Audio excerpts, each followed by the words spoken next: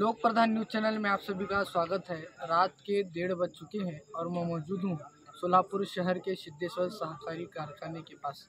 जी हाँ इस वक्त इस पूरे क्षेत्र में एक किलोमीटर की दूरी तक धारा 144 लगा दी गई है और ऐसी भी चर्चाएँ, ऐसी भी जानकारी सामने आ रही है कि आज इस चिमनी का आखिरी दिन है। जी हाँ क्या चिमनी की होगी विदाई? ऐसी ही कुछ जानकारी को लेकर, चर्चा को लेकर आज हमारे साथ लोक प्रधान न्यूज़ चैनल के वरिष्ठ पत्रकार अल्ताफ शेख हैं। उनसे हम इस चिमनी की जानकारी को लेकर और क्या कुछ जानकारी है, हम जानने की कोशिश करेंगे। सर, क्या जानकारी है? इस क्षेत्र में एक किलोमीटर तक धारा एक सौ चौवालीस लगाई गई है। क्या कहना चाहेंगे? तो सबसे पहले तो बता दूँ कि आज हम यहाँ जो कवरेज करने के लिए जो श्री सिद्धेश्वर साकर कारखाने के यहाँ मौजूद है हमारी लोक की पूरी टीम। और इस हालात को देखते हुए ये अंदाज़ा लगाया जा सकता है कि एक धारा इस कारखाने के पूरे एक किलोमीटर के दायरे में लगी हुई है, मगर अब तक एक बजने का वक्त है, तकरीबन एक बज चुका है। अभी तक यहाँ कोई प्रशासन, पुलिस प्रशासन पुलिस प्रशासन का कोई फौजी फाटा या फिर पुलिस प्रशासन यहाँ अवेलेबल नहीं है।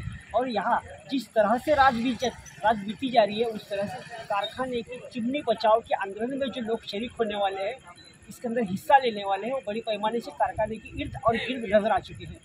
क्या कुछ वजह क्यों धारा एक सौ चौवालीस लगाई गई है? क्या कहना चाहिए अब धारा एक सौ चौवालीस यहाँ की जो चुन्नी जो कारखाने की चुन्नी जो कई सालों से कई महीनों से वादग्रस्त है।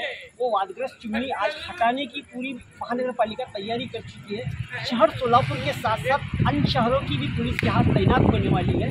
इस चुन्नी को बढ़ाने में गिराने में कोई बाधा ना हो।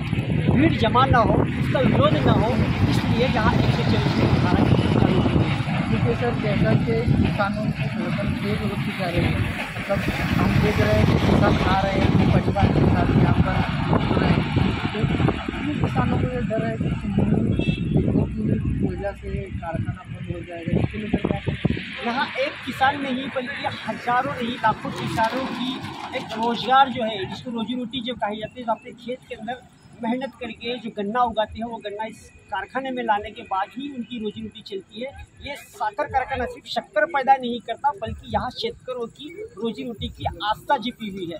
इस आस्था को कहीं ना कहीं बचाने की जूझ कर रहे शेतकरी यहाँ लाखों, हज़ारों की संख्या में भीड़ लगाना शुरू कर क्या कहना चाहेंगे? क्या हर बार की तरह पर रोक रहेगी या आज चिमनी की आखिरी चली चिमनी पर रोक रहेगी या आज चिमनी के आखिरी रास्ते अगर चली चिमनी विदा हो जाए, या हर बार की तरह इस पर देखने की बात तो ये है कि आप जो महापालिका तैयारी कर चुकी है, आज चिमनी गिराने ही ये उनके लिए सूचित ऐसी जारी की गई कि आज चिमनी गिरेगी मगर बेहद अफसोस के साथ ये कहना पड़ रहा है कि सोलापुर शहर की जो पिछले कई सालों से जो नाक रह चुकी है इस चिमनी जो भी कुछ दिन पहले एक विवाद और विवाद इस चिमनी को लेकर भड़क चुका है।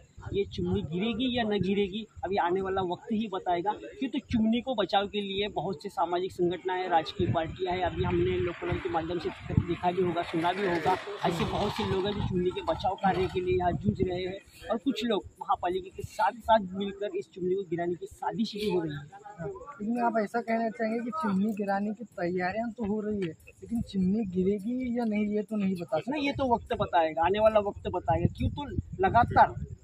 आज ये पहला दिन है इसके कई बार भी जब चिमनी हाँ। चिमनी गिराने की जब बात आई है तो उसमें रुकावट पैदा हो खुलास उसकी पूरी मरम्मत के साथ कहे जाते हैं विरोध हुआ है। चिमनी कहीं ना कहीं बच चुकी है। आज भी हो सकता है चिमनी बचेगी। क्यों तो 12 बजे के बाद एक सौ चौबीस लागू हो चुकी थी, मगर अब एक बजने का वक्त है। यहाँ ना कोई पुलिस प्रशासन है, ना महापालिका के अधिकारी है, ना यहाँ चिमनी गिराने के लिए जो लगते हैं, जेसीबी, बुलडोजर, डंपर, विपर, जो भी है ऐसी कोई भी चीज़ अभी तक यहाँ उपलब्ध नहीं है। अब ये उनका क्या मनसूबा रहा होगा, ये आने वाला वक्त नहीं बताएगा। ये थे हमारे साथ लोक प्रधान के वरिष्ठ पत्रकार अल्ताफ शेख। इन्होंने हमें बहुत ज़्यादा जानकारी दी। ऐसी ही ज़्यादा जानकारी के लिए अपडेट रहिए लोक प्रधान न्यूज़ चैनल के साथ। लोक प्रधान न्यूज़ चैनल चिमनी की एक एक अपडेट ग्राउंड ज़ीरो से आपको देता रहेगा